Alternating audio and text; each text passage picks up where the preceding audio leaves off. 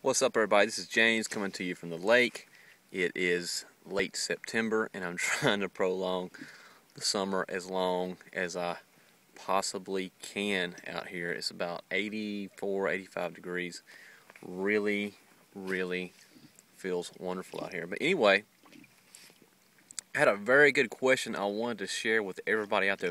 This was an outstanding question and I feel like it would really help everybody if they heard the real solution to this. And I got an email from a from an individual, and she asked me. She said, uh, "James, what do you do, or how do you have a very high retention rate for your business, and how do you keep your referrals duplicating and staying in the program long term for long term stable income?" Now, if I wanted to tell everybody if you're in this situation in whatever online business that you're doing, if you're having people that uh, that you make sales to that don't uh, that that quit or give up or that sort of thing, it can be very disheartening. Okay, and uh, but I want you to know that every person that's ever made a huge amount of money online, whether it be a online networking business or any or promoting products or anything online, they've all went through this. So you're in very good company, and if you keep going, you're going to be one of the top elite people online. I went through it.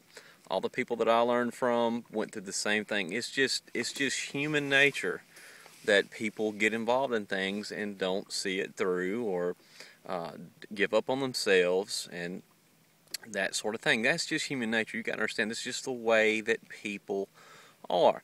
Now, the good thing, now what I've done personally to correct this situation, because I went through it, what I've done personally is I really changed my marketing to really want to attract the right kind of people to my business. I'm far more concerned with quality rather than quantity. I hope that makes sense. Now, I've put a huge, staggering amount of people into my business, but I've always been focused on quality rather than quantity. Now, what do I mean by that? I want people like myself in my business. I want people that understand that it takes work, that it takes effort. Money does not magically uh, shoot out of your laptop just because you've uh, signed up into a business.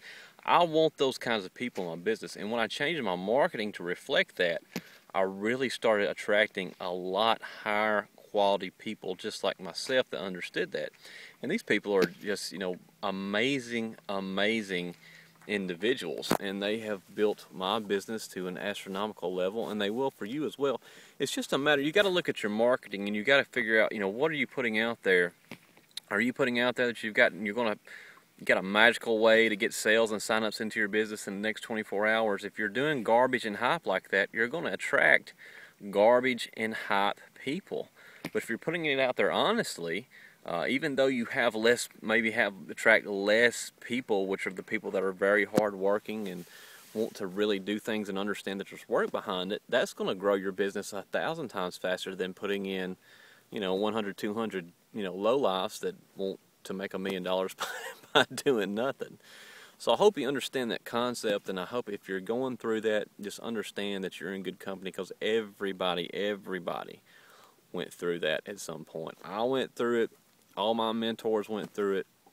So you just understand it's just uh, changing your marketing to attract better quality people to your business. And once you do that, you cut out this problem 95% of the time. Thanks a lot. This is James. If you like my channel, please subscribe. Lots of great tips coming for you on this channel. Thanks a lot.